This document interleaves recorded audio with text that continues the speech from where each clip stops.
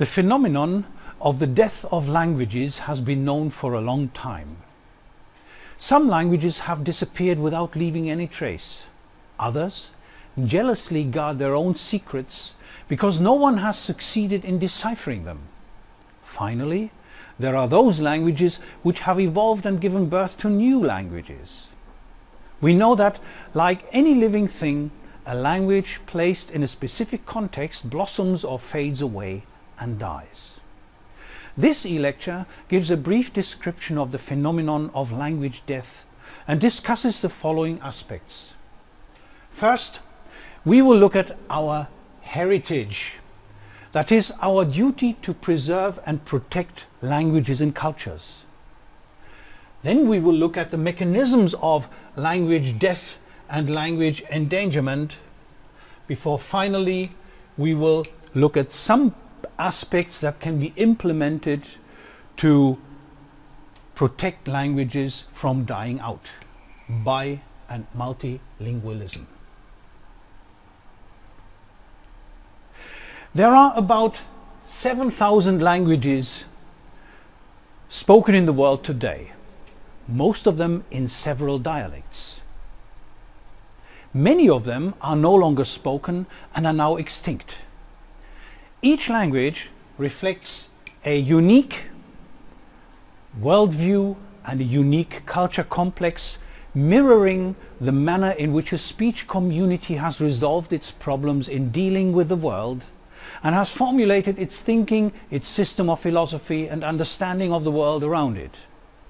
In this, each language is the means of expression of the intangible cultural heritage of people and it remains a reflection of this culture for some time even after the culture which underlies it decays and crumbles often under the impact of an intrusive, powerful, usually metropolitan different culture. However, with the death and disappearance of such a language, an irreplaceable unit in our knowledge and understanding of human thought and worldview is lost forever. For this reason, the protection of endangered languages is among the most important goals of modern linguistics. But what exactly is language endangerment? A language is said to be endangered or at least potentially endangered if it is no longer learned by the children or at least by a large part of the children of that community, say at least 30%. If a large portion of the children switch to another language, then more and more children will act likewise until there are no child speakers left and the language will eventually disappear with the death of its last speakers. Languages become endangered resulting in a state of being on the edge of extinction for several reasons. The first of these reasons is the forceful splitting up and transplanting of the speech community that speaks a given language, putting small groups or even only individuals of the speech community into communities that use other languages. This will inevitably kill the original language of the transplanted people in a short amount of time. A second situation in which a language becomes endangered and threatened to disappear occurs when a particular speech community comes into face-to-face -face contact with carriers of a more aggressive culture who speak another, usually metropolitan language. The first culture is overwhelmed and threatened with disintegration because mastery of the intrusive language offers economic advantages to the speakers of the language of the weaker culture. Parents of children in the weaker culture tend to encourage their children to use the language of the stronger culture in preference to their own and will themselves tend to speak to their children in that preferred language the young generation will soon learn to despise their traditional language and regard it as worthless and inferior and cease to be interested in it. A third group of causes for the endangerment or even disappearance of local and minority languages can be indirectly attributed to the actions of people of a dominant culture that lead to the destruction of the environment, the habitat and the livelihood of the speakers of local languages, for example through mining, oil drilling, excessive tree felling, damming of rivers, warfare, etc. These actions lead to the transplanting and scattering of the speakers of the local languages with disastrous results for their languages. Other types of causes of the endangerment or disappearance of very small to moderately small local languages include natural catastrophes such as volcanic eruptions, severe earthquakes, tsunamis, gigantic waves hitting shorelines after a seaquake, floods, wildfires, new devastating diseases.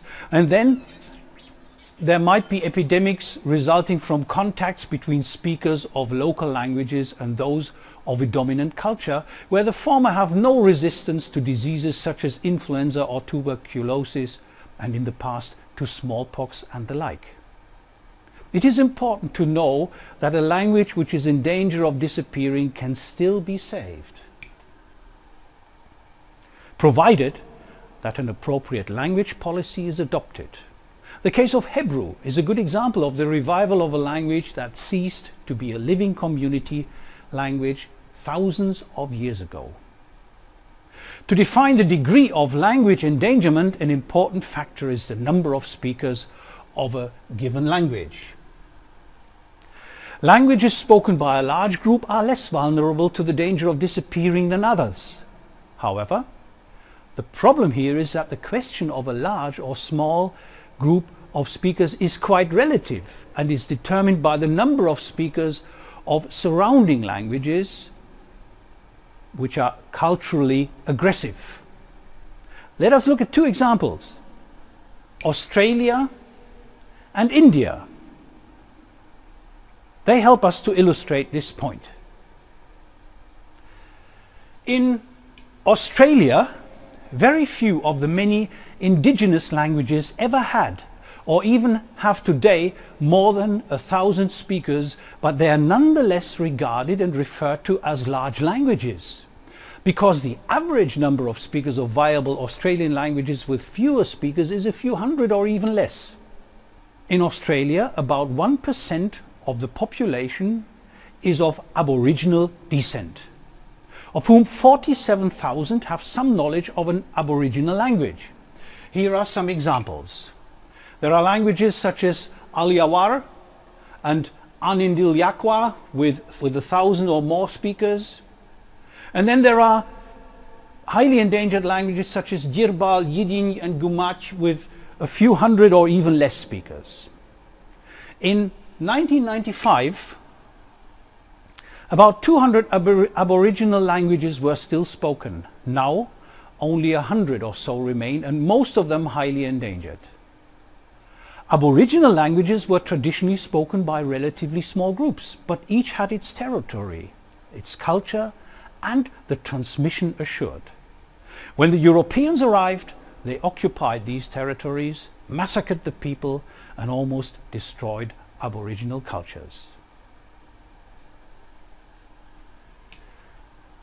In India, on the other hand, in areas around India and in India itself, where languages such as Hindi, Gujarati or Bengali have millions of speakers, languages like Brahui with 2 million and um, Hindko with 600,000 speakers are regarded as small languages and will feel pressure from neighboring languages with these several dozens or even hundreds of millions of speakers. So the question of large or small numbers of speakers is quite relative and is determined by the number of speakers of other languages surrounding languages which are under pressure. The dying and disappearance of languages has been going on for thousands of years as a natural event in human society. But at a slow rate, with few languages here and there in the world disappearing slowly over the years. This trend sometimes increased locally for a short period of time. For instance, when a powerful, conquering group of warriors attacked and killed certain small groups of people, such as the North American Indians, speaking a variety of different languages and whose languages died with them. Or when natural disasters such as violent volcanic eruptions or great floods wiped out small tribes of people who spoke a number of local languages. However, such events did not bring about the disappearance of hundreds of languages at the same time and at a steady or increasing rate, and did not result in a drastic and catastrophic reduction in the number of languages spoken in the world.